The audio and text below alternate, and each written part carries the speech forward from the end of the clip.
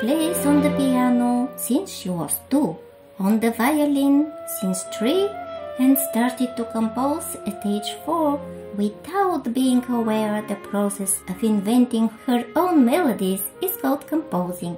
She is 11 years old when, at the end of 2016, the world premiere of her full-length opera Cinderella takes place in Vienna under the patronage of Maestro Zubin Mehta.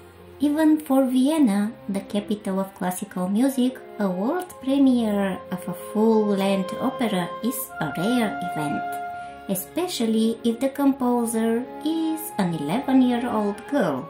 This opera is all about fairy tale, but although all of us know this tale, it enchants us in a completely new way.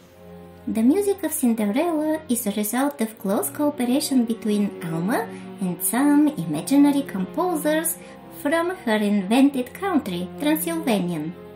The libretto, however, is the result of close cooperation between Alma and very real people over a long period of time. So, a short history of how the opera evolved may be of interest.